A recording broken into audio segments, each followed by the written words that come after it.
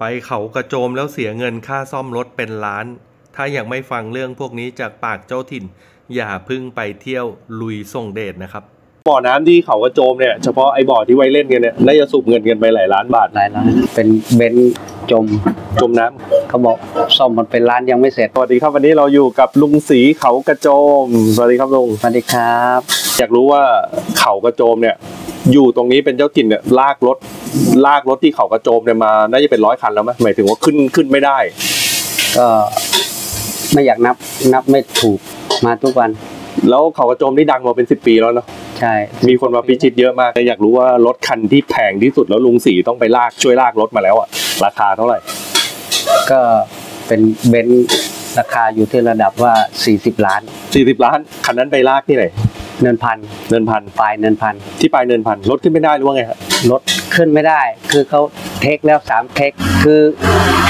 ผมขึ้นไปก่อนแล้วเป็นรถใหม่ใช่เขาก็อยากจะเทสรถของเขาว่าเออ สมรรถนะของเขาได้เท่าไหร่เขาบอกเดี๋ยวเขาลองเทคดูก่อน ถ้าได้ก็คือได้ถ้าไม่ได้ก็คือต้องลาก อ๋อ ก็คือให้ลุงสีไปเป็นรถเซอร์วิสใช่ถูก ขึ้นนำไปก่อน ครับ ถ้าเขาไม่รอดก็ให้ลากไปเอ้แล้วก่อนหน้าเห็นบอกว่าเจ้าของคนเดียวกันเลยเอาคันเท่าไหร่มานะเป็นเก้าล้านเก้าล้านเหรอ ใช่ เที่ยวเขากระโจมแล้วเกิดพลาดพลังจมน้ำใช้เจ้านี่เลย น้ำมันเครื่องไฮโดรซิน ใช้แล้วพลังเหลือเครื่องยนต์เงียบเอ่อคันนั้นไปจบท่าไหน รถเขาไปลงเล่นบ่อวัดใจอ้อยบ่อรักเพื่อนเขาลงไปก็จบรถพัง จมน้ำอะ จมจมน้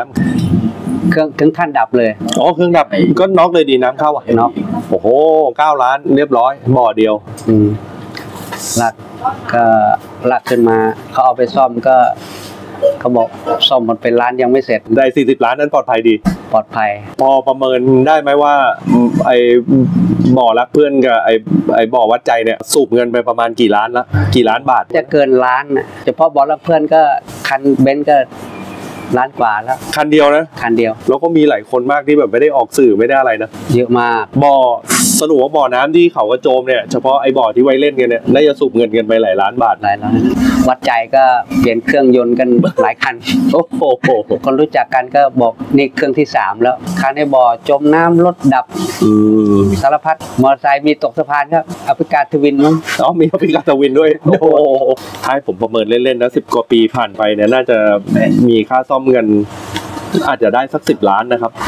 น่าจะอยู่ที่ประมาณนั้นแหละปีปีหนึ่งมันไม่มีไม่มีสถิติประเมินอะแต่มาถามเจ้าที่แล้วคนตกบ่อน้ำก็บ่อยแล้วก็รถเสียก็บ่อย เอาไว้ขำๆใครอยาก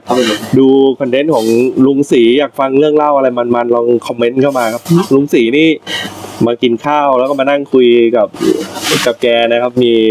เรื่องทีเด็ดมันๆสนุกสนุกๆเล่าให้ฟังออกสื่อไม่ได้ ใครมีประสบการณ์เสียตังค์กับเขากระโจมไปแล้วเท่าไหร่ หรืออยากจะเล่าเรื่องราวสนุกสนุกๆถ้าคอมเมนต์ถูกใจเดี๋ยวแอดมินแจกไปให้ครับ ของที่ระลึกจากเลเว็บไทยแลนด์น้องสติกเกอร์